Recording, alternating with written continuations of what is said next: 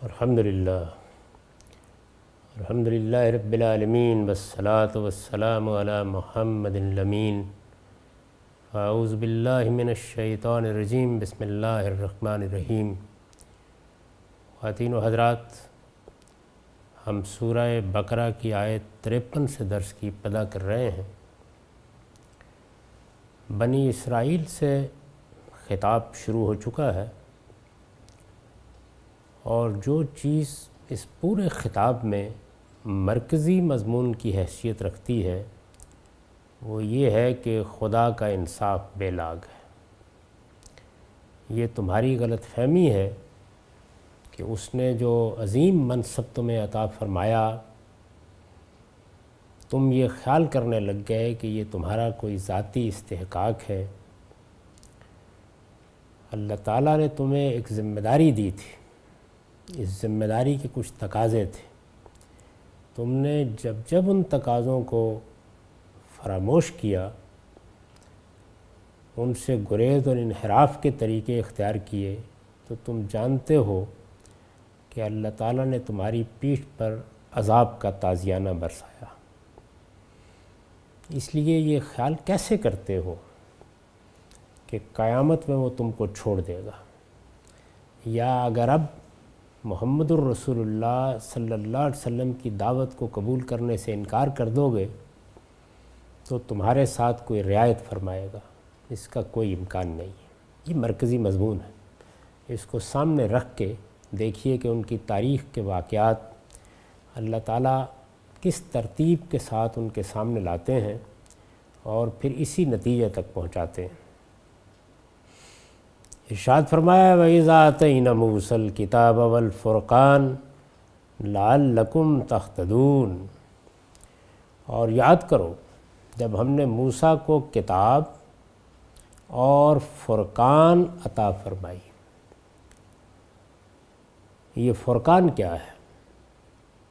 क्या ये किताब से कोई अलग चीज़ है? कुरान मजीद की ज़ुबान में, यानी के मानी में एक वाव इस्तेमाल होती है, जिसको बयान की वाव कहा जाता है।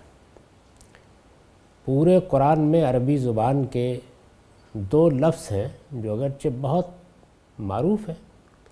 अरब आम बोलते थे, लेकिन इस्तेमाल नहीं हुए। एक ये आनी, यानी अरबी ज़ुबान में बोला जाता है, लिखा जाता है, लेकिन कुरान ने इसको इस्तेमाल नहीं किया। कुरान मजीद की ज़ुबान का एक ख़ास ज़ौक़ और ख़ास मैार है। इसी तरह भी के लिए ऐज़न का लफ्ज़ उस ज़माने में भी मौजूद था। बड़ी मशहूर रवायत है, जिसमें सैदना उमर रज़ी अल्लाह ने जब ये देखा कि हज़रत उस्मान देर से जुमे में आए हैं तो उनसे पूछा, उसके जवाब में उन्होंने कहा कि मैं किसी काम में मसरूफ़ था बस बाहर से आया और आते ही वज़ू करके आ गया हूँ। तो उन्होंने कहा कि वल वज़ू ऐज़न, यानी जुमे के दिन और फिर वो भी सिर्फ़ वज़ू आपको तो गसल करके आना चाहिए था। तो ये लफ्ज़ अरबी ज़ुबान में मरूफ़ है, लेकिन कुरान मजीद ने अपने उसलूब के शायन शान नहीं इस्तेमाल किया इसको। चुनाचे वाव आती है बयान के लिए, तफसीर के लिए, और ये बहुत सी जगहों पर लोगों के लिए मज़िल्ला एक कदम बन गई है। चुनाचे वो देखते हैं कि अल्लाह ताला ने किताब नाजिल फरमाई या किताब अता फरमाई तो ये फ़ुरक़ान क्या है? इसी तरह दूसरी मुकाम पर मीज़ान का लफ्ज़ आ गया है तो ये मीज़ान क्या है?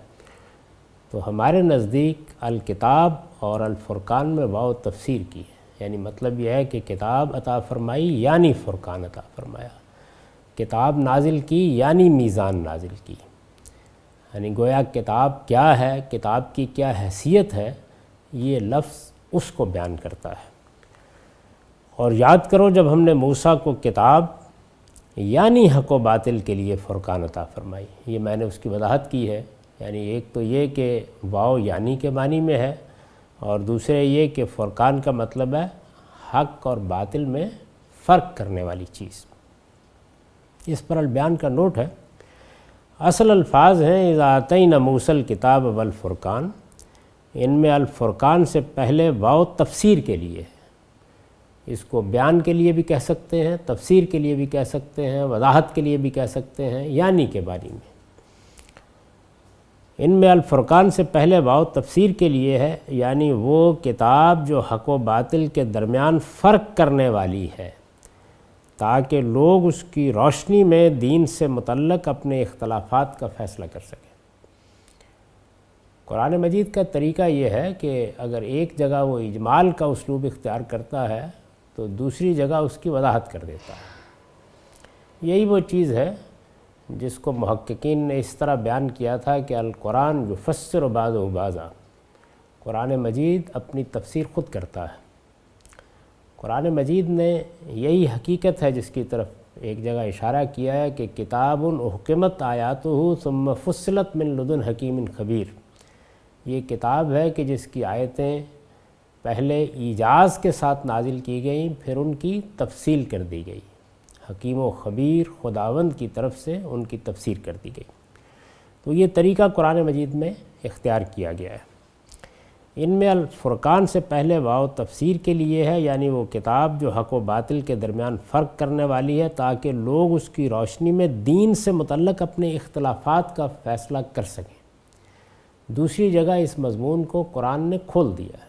यानी सूरह बकरा में, इसी सूरा की आयत 213 में कुरान मजीद ने वजाहत फरमाई है कि तौरात, इंजील, कुरान, यानी वहाँ ये ज़िक्र किया है कि जब लोगों के माबैन इख्तलाफात हुए तो हमने नबूत का सिलसिला जारी किया इनज़ार व बशारत के लिए।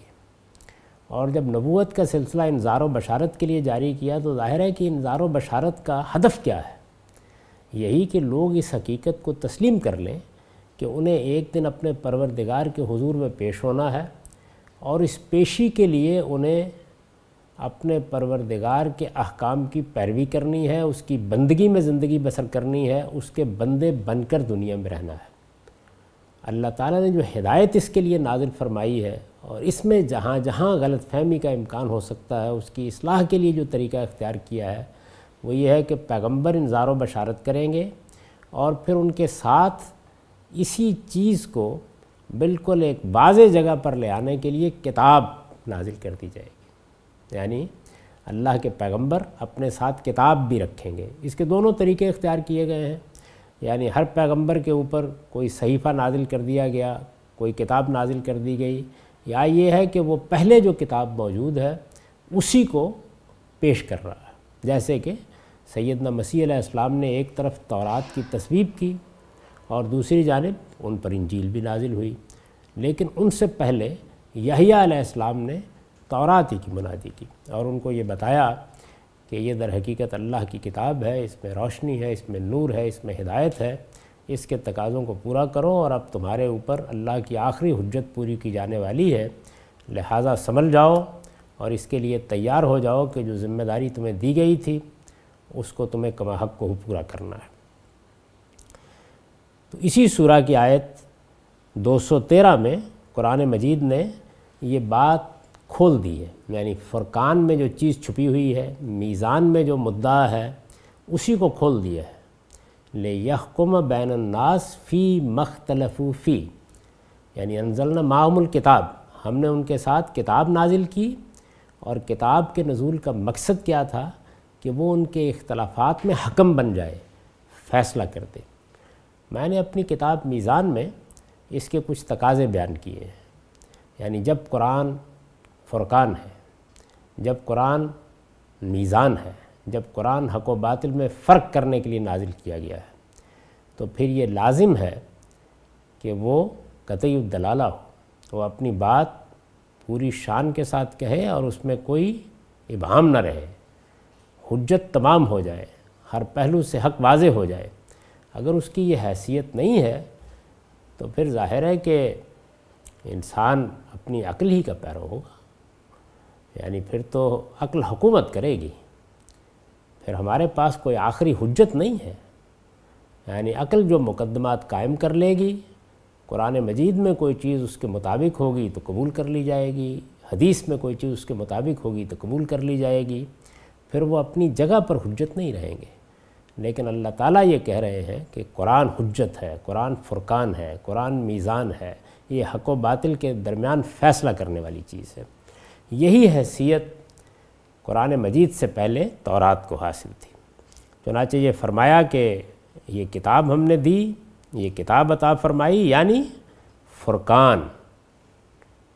हक व बातिल में फ़ैसला करने की कसौटी, ये भी अता फरमाई।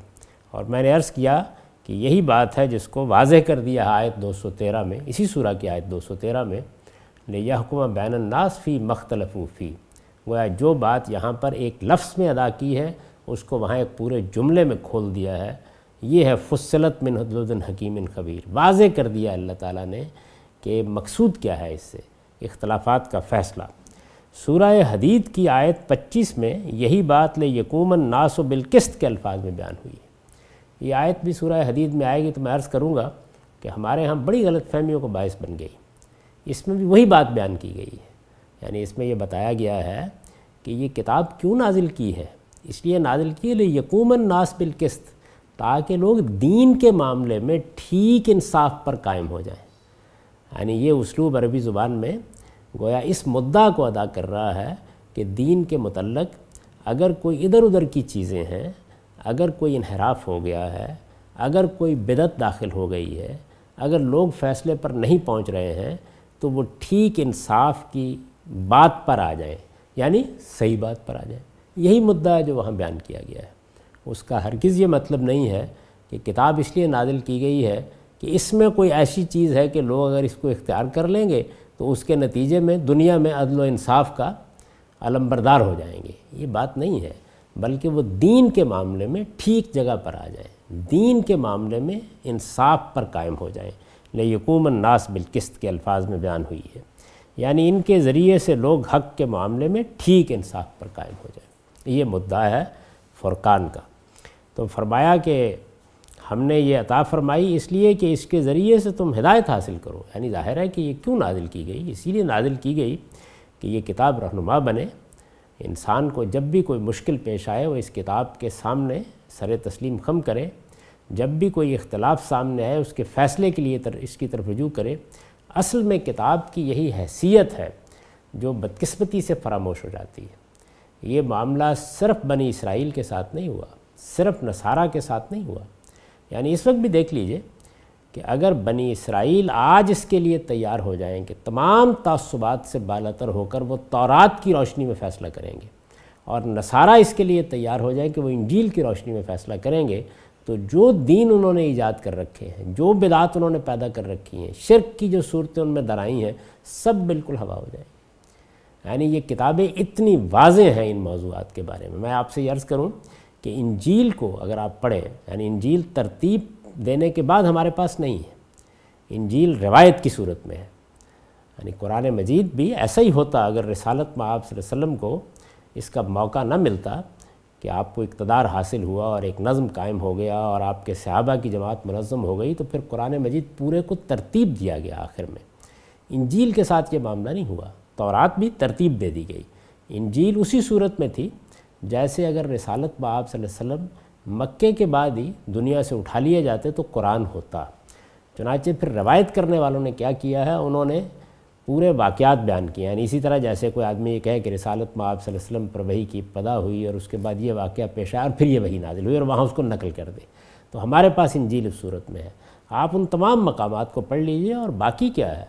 यानी सिर्फ़ पहाड़ी के वास को अगर पढ़ लीजिए तो बिल्कुल ये वाज हो जाता है कि दीन के वो बुनियादी मुकदमात जिनमें नसारा ने, बल्कि कहना चाहिए कि पाल के पैरों ने गलती खाई है वैसे एक एक चीज़ वाजे कर दिया उन्होंने। ये बात के तौरात की शरीयत ख़त्म करने के लिए हज़रत मसीह आए थे नहीं पदा यहाँ से करते हैं कि मैं तौरात को पूरा करने के लिए आया हूँ, मैं उसको मनसूख करने के लिए नहीं आया। पहाड़ी का आवाज़ शुरू यहीं से होता है।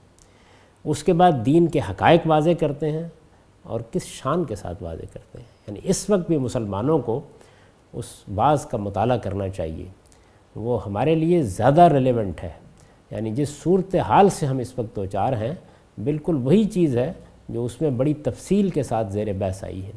और फिर आखिर में ये बताते हैं कि ईमान और उम्र साले है जिसकी बुनियाद पर तुम्हें खुदा के हुजूर पेश होना है। गोया कफ़ारे का अकीदा, अलूहियत का अकीदा, उन सब की नफ़ी कर दी।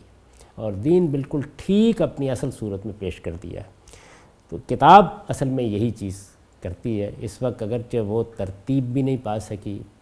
उसको उस तरीके से उसकी ज़ुबान में भी महफूज नहीं रखा जा सका, लेकिन तर्जुमा दर तर्जुमा होने के बावजूद भी वो इन बुनियादी हकायक को इस फैसला कौन अंदाज में वाजे कर देती? है और कुरान मजीद के तो खैर क्या कहने हैं? तो मकसद ये है कि इसके ज़रिए से तुम हिदायत हासिल करो। ये फरमाया कि ये मकसद था इस किताब का। यानी तुम्हारी किताब दी गई तो इसलिए नहीं दी गई थी कि वो महज तुम्हारे लिए एक शरफ़ है। कि हम हामिल कुरान हैं या हम हामिल तौरात हैं, बल्कि उसका मकसद ये था।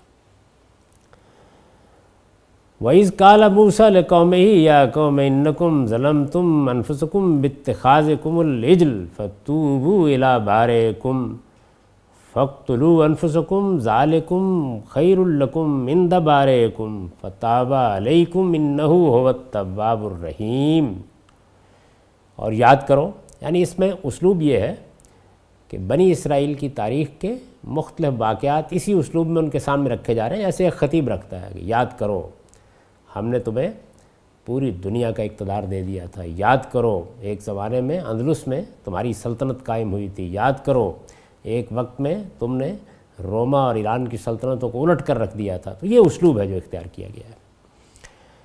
और याद करो, जब मूसा ने अपनी कौम से कहा, या कौम, मेरी कौम के लोगों इन्नकुम ज़लम तुम मनफसकुम तुमने अपने ऊपर जुल्म किया है। बित खाज कुम रिजल ये बछड़ा बनाकर। बनी इसराइल के उस वाक़े की तरफ़ इशारा किया है, जिसमें उन्होंने मिस्र में फ़िरौन की ग़ुलामी से निजात पाने के फ़ौर ही बाद ये अजीम जुर्म कर डाला। यानी पैगंबर की मौजूदगी में शिरक और शिरक भी इस दर्जे का कि उसके लिए एक बछड़ा बना लिया, जिसको अब पूजा जाएगा। लोगों, तुमने ये बछड़ा बनाकर अपने ऊपर जुल्म किया है।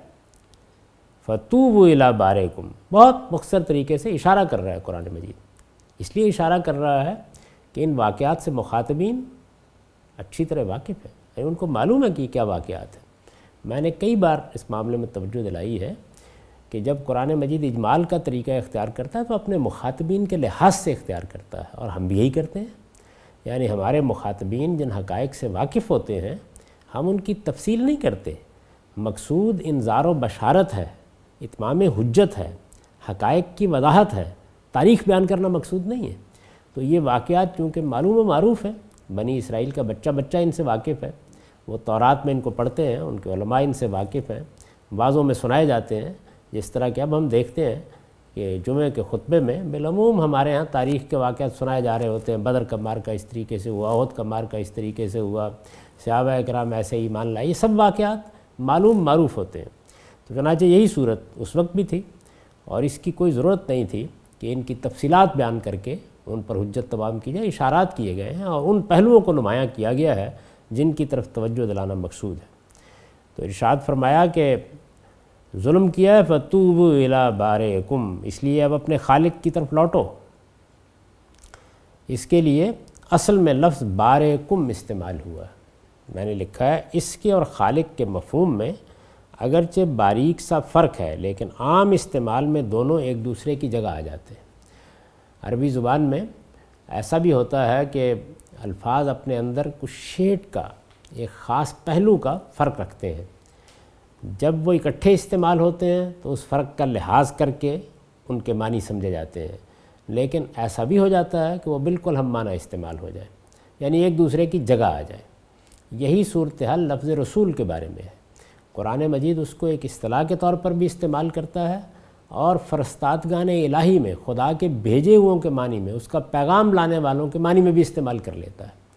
तो जो लोग असालीब की नुदरतों से वाकिफ़ नहीं होते वो इन्हीं चीज़ों से इस्तलाल करके बड़े बड़े हक़ का इनकार करना शुरू कर देते हैं। इसलिए अब अपने खालिक की तरफ़ लौटो। फ़ख्तलू अनफसकुम। अब ज़ाहिर है कि उनको अपने खालिक की तरफ़ लौटना है तो क्या महज तौबा काफ़ी होगी?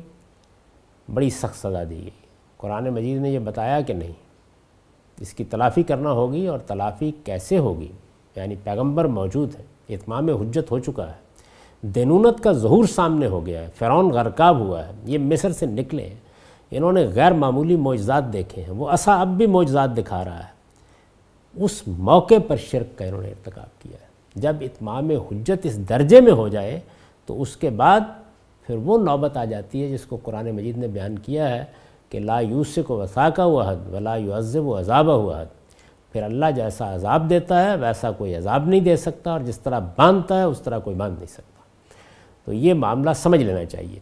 बनी इसराइल के जो वाक़ात यहाँ ज़ेर बहस हैं तो उनकी खसूसी हैसियत भी पेश नज़र रखी। यानी एक तो वो पहलू हैं जिनकी तरफ़ मैंने यहाँ इशारा किया कि अल्लाह के पैगंबर की बेसत उनके अंदर हुई, उनके सामने फ़िरौन पर इतमाम हजत किया गया। ज़ाहिर है कि ज़िमन उन पर भी हुआ। अल्लाह की हजत हर लिहाज से वाज हो गई। वो सब के सब मूसा इस्लाम पर ईमान लाए।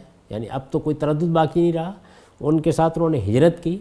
उनके सामने एक अजीम सल्तनत का बादशाह और उसके लश्कर खुदा के कहर का निशाना बन गए। वो इत्मीनान के साथ पार हुए और कदम कदम पर मौजाद देख रहे हैं और अल्लाह का पैगंबर उनके दरमियान मौजूद है।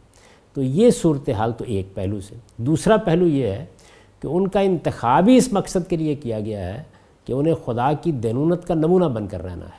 और मैं यर्ज़ कर चुका हूँ कि देनूनत का नमूना जब कोई फ़र्द या कौम बनती है तो उसकी सूरत ये होती है कि खुदा उसके साथ जजा सज़ा का मामला दुनिया में करना शुरू कर देता है। ताकि अगर वो सही रवैया इख्तियार करें तो जो जजा उसे दी जाए, उसको देख कर लोग जानें कि खुदा उनके साथ है। वो जो बाइबल में एक तलमी इख्तियार की जाती है कि खुदा उनके रथों के साथ चलता था, खुदा उनके लश्करों के साथ चलता था, ताकि फ़िलिस्ती दुनिया की दूसरी कौमें जान लें कि खुदावंद हमारे साथ है। तो ये चीज़ और अगर किसी मौके के ऊपर वो खुदा की शरीयत से इनराफ़ करें तो फिर उनकी पिटाई हो। और ये सबको पर वाजे हो जाए कि वो परवरदिगार जो उनके साथ होता है, वही आज उन्हें सज़ा दे रहा है। बनी इसराइल के साथ मामले की नौीयत यही है। यानी उनके मामले को आम कौमों के तरीके पर क़्यामत पर मौखर नहीं किया जाता। जजा सज़ा का मामला यहाँ भी होता है। और क़्यामत के बारे में ये मालूम है कि वहाँ इनफरादी जजा सज़ा होगी। यानी फ़र्द फ़र्द का नामा अमाल अलग से ज़ेर बहस आएगा और उसके लिहाज से फ़ैसला सुनाया जाएगा। कौमी हैसियत से जो कुछ मामला है वो उनके साथ इसी दुनिया में हो रहा है।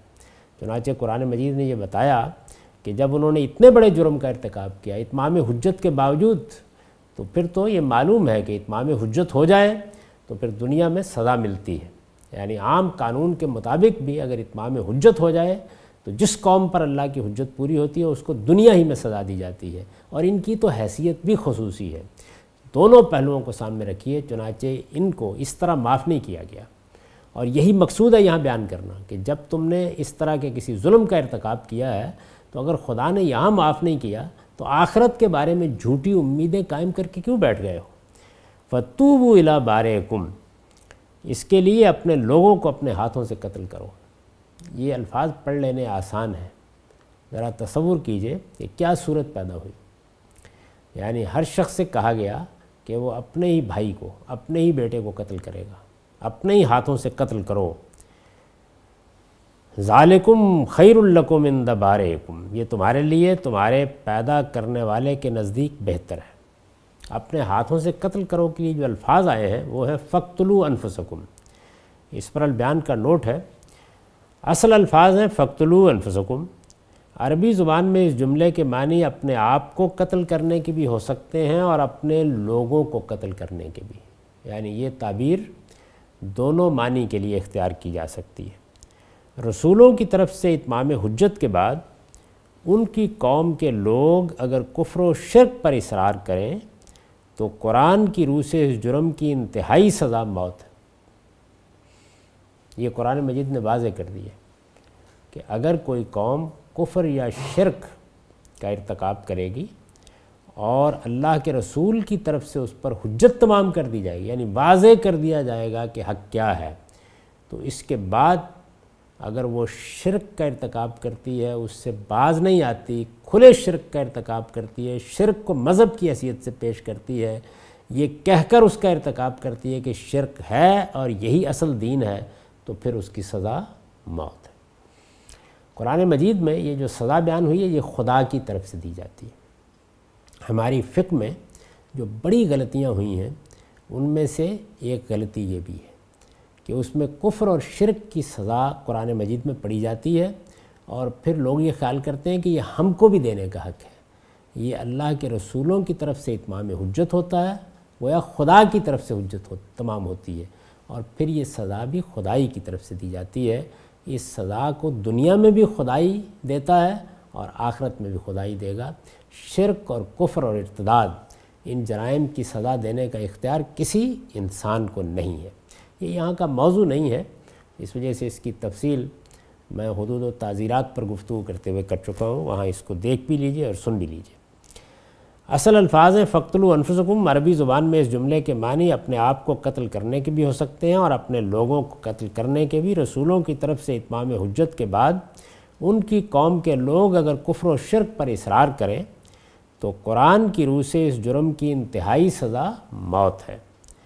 इस आयत से मालूम होता है कि बनी इसराइल में से कुछ लोगों ने जब पैगंबर की मौजूदगी में शर्क का इरतकब किया तो यही सज़ा उन पर नाफिज की गई। यानी ये सज़ा तो कुरान में दूसरे मकाम पर बयान हुई है। लेकिन बनी इसराइल को ये दी गई, इसका ज़िक्र यहाँ हो रहा है। और उनके माहदीन इसके नफाज पर मामूर किए गए। रसोल्ला वसम की कौम के साथ भी बिल्कुल यही हुआ है। यानी जिस वक्त फिर सूरह तौबा नाजिल हुई है, जो अजाब की सूरह है तो उसमें किन लोगों से कहा गया कि अब तुम जाओ और इनको जहाँ पाए जाएँ, मार दो। वो सहाब कराम अपने आयज़ा व अकरबा ही पर इस सज़ा के नफाज के लिए मामूर किए गए। यानी ये कुरैश को दी जाएगी, ये बनी इस्माइल को दी जाएगी, ये अरब के लोगों को दी जाएगी। तो देने वाले कौन हैं? किसी का चचा है, किसी का मामू है, किसी का भाई है। इसकी जो पहली किस्त नाजिल हुई है मारका बदर में, उसमें भी ये मालूम है कि भाई को भाई पर तलवार उठानी पड़ी है, बाप को बेटे पर तलवार उठानी पड़ी है। सैयद अबू बकर सिद्दीक़ के बारे में ये बयान किया जाता है कि उनके साहबजादे ने कहा कि कई मरतबा ऐसा हुआ कि आप मेरी तलवार के सामने आए, लेकिन मैं गुरेज कर गया। तो उन्होंने फरमाया कि ये हक बातिल का मारका था। उस वक्त तब कुफर के अलमबरदार थे। मैं हक के लिए तलवार उठाए हुए था। मेरी तलवार के सामने अगर तुम आते तो मैं गुरेज न करता। तो यही मामला इनके साथ हुआ। इस आयत से मालूम होता है कि बनी इसराइल में से कुछ लोगों ने जब पैगंबर की मौजूदगी में शर्क का इरतकब किया तो यही सज़ा उन पर नाफिज की गई और उनके माहिदीन यानी एक वो लोग थे जो मुशकिन हो गए और दूसरे वो जो माहिदीन हैं, उनके माहिदीन इसके नफाज पर मामूर किए गए। उन्हें हुक्म दिया गया कि बछड़े को इला बनाने वालों की गर्दनें मार दें, ताकि अहले ईमान की आजमाइश हो और बनी इसराइल की जमात को मुजरमों से पाक कर दिया जाए। यानी बनी इसराइल, चूँकि खुदा की मंतखब जमात थे तो ये दूसरा मकसद भी पेश नज़र था इस सख्त सज़ा में, कि ये जमात मुजरमों से पाक रहे। इसकी तथहीर का अमल मुसलसल होता रहा है, ताकि ये पाकिजगी के साथ खुदा की दावत दे। और मैं अपने बाज़ लेक्चर्स में ये बता चुका हूँ कि यही वजह है कि इनके लिए जो सज़ाएँ हैं, जराइम की सज़ाएँ हैं, वो भी ज़्यादा सख्त हैं। यानी इनकी ख़ास हैसियत को पेश नज़र रख कर उन सज़ाओं को समझना चाहिए। बाइबल की किताब खरूज के बाब बत्तीस में ये वाक़ इस तरह बयान हुआ है।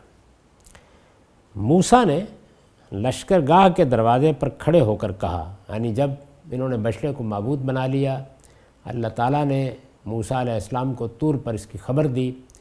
वो तौरात के लिए वहाँ गए हुए थे, वापस तशरीफ़ लाए।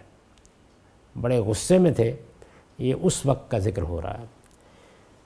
मूसा ने लश्करगाह के दरवाजे पर खड़े होकर कहा, जो खुदावंत की तरफ़ है, यानी अपने ईमान पर कायम हो मेरे पास आ जाए। यानी पहले तथहीर का अमल हुआ। सूरह आल इमरान में और बहुत सी दूसरी सूरतों में देखेंगे कि ख़ुद रसालत में वसल्लम के ज़माने में भी पहले तथहीर का अमल हुआ है। मैंने जगह जगह अलबयान में ये बताया है कि एक तो वो तस्किया और तथहीर है जो नफ्स के मामले में होता है यानी उसे रज़ाइल से पाक किया जाए, उसके अंदर फ़ज़ाइल को नशोनुमा दी जाए, एक वो चीज़ है। और एक जिस वक्त पैगंबर की तरफ़ से इतमाम हजत हो जाता है तो उसके बाद जमात की तथहीर है। ये भी कुरान मजीद की बहुत सी सूरतों का मौजू है। सूरह आल इमरान में तो सारी बहस यही है कि अल्लाह ताला ने मुसलमानों की जमात की तथहीर की है, यानी उनके अंदर जो सच्चे अहले ईमान है, उनको पहले अलग किया है। अजाब का फ़ैसला उसके बाद होता है। मूसा ने लश्करगाह के दरवाजे पर खड़े होकर कहा जो जो खुदावंद की तरफ़ है, यानी अपने ईमान पर कायम हो मेरे पास आ जाए। तब सब बनी लावी उसके पास जमा हो गए और उसने उनसे कहा कि खुदावंद इसराइल का खुदा यूँ फरमाता है कि तुम अपनी अपनी रान से तलवार लटकाकर फाटक फाटक घूम घूम कर सारे लश्करगाह में अपने अपने भाइयों और अपने अपने साथियों और अपने अपने पड़ोसियों को कत्ल करते फिरो। यह सज़ा इस तरीके से नाफिज की गई। और बनी लावी ने मूसा के कहने के मुआफ़ अमल किया, यानी जिस वक्त लोगों को तवज्जो हो चुकी थी कि कितने बड़े जुर्म का इरतकब हो गया है, किन हालात में हो गया है, किस सूरत में हो गया है तो फिर उन्होंने चूनो चरा नहीं की। चुनाचे उस दिन लोगों में से करीबन तीन हज़ार मर्द खेत आए। ये तादाद थी उन लोगों की जिन्होंने बछड़े को मबूद बनाकर प्रस्तिश की थी। और मूसा ने कहा कि आज खुदावंद के लिए अपने आप को मखसूस करो। इसका क्या मतलब है? यानी अपने ईमान की तजदीद करो। बल्कि हर शख्स अपने ही बेटे और अपने ही भाई के ख़िलाफ़ हो, ताकि वो तुमको आज ही बरकत दे। यानी मतलब यह है कि ये मामला मौखर करने का नहीं है। आज ही शाम तक अल्लाह ताला से माफ़ी हो जानी चाहिए। अल्लाह का गज़ब कैसा था? उस वक्त सूरत हाल कितनी संगीन हो गई थी, वो इन अल्फाज से समझी जा सकती है। तो ये उन्होंने फरमाया। जब इस सज़ा का हुक्म दिया गया तो साथ ही वाजे कर दिया गया कि ये तुम्हारे लिए, तुम्हारे पैदा करने वाले के नज़दीक बेहतर है। आसान नहीं था ये मामला। ये गोया उसके लिए तसील फरमाई है। मैंने इस पर लिखा है, यानी हो सकता है कि तुम इसे बहुत बड़ा जुल्म और अपनी कौम का नुकसान ख्याल करो, लेकिन तुम्हारे पैदा करने वाले के नज़दीक तुम्हारे लिए यही बेहतर है। क्यों बेहतर है?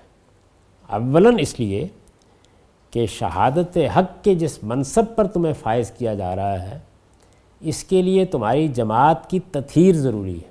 इन चीज़ों को समझ लीजिए।